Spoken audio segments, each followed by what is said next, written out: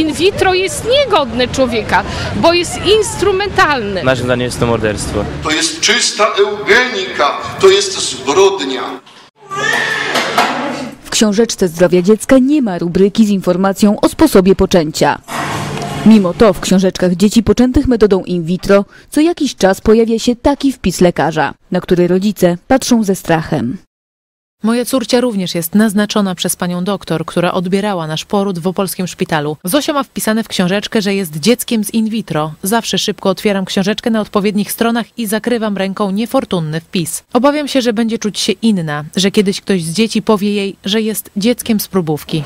In vitro jest niegodne człowieka, bo jest instrumentalne. Naszym zdaniem jest to morderstwo. To jest czysta eugenika, to jest zbrodnia.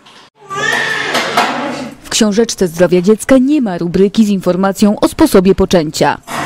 Mimo to w książeczkach dzieci poczętych metodą in vitro co jakiś czas pojawia się taki wpis lekarza, na który rodzice patrzą ze strachem. In vitro jest niegodne człowieka, bo jest instrumentalne. Naszym zdaniem jest to morderstwo. To jest czysta eugenika, to jest zbrodnia. W książeczce zdrowia dziecka nie ma rubryki z informacją o sposobie poczęcia.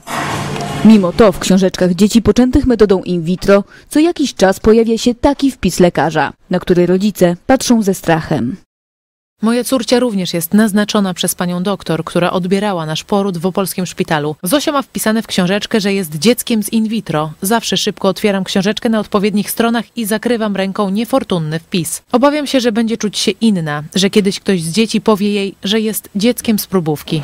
In vitro jest niegodne człowieka, bo jest instrumentalne. Naszym zdaniem jest to morderstwo. To jest czysta eugenika, to jest zbrodnia.